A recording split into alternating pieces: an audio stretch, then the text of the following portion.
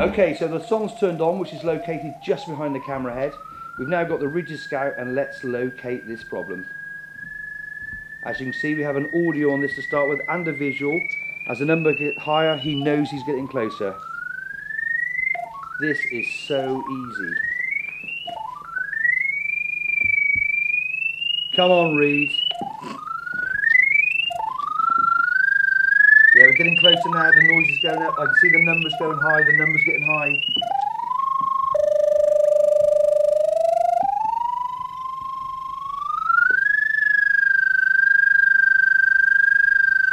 We got it? Yeah, look now, how easy was that? Fantastic. The Ridgid Scout in conjunction with the Colour Compact, all available from Trade Counter Direct.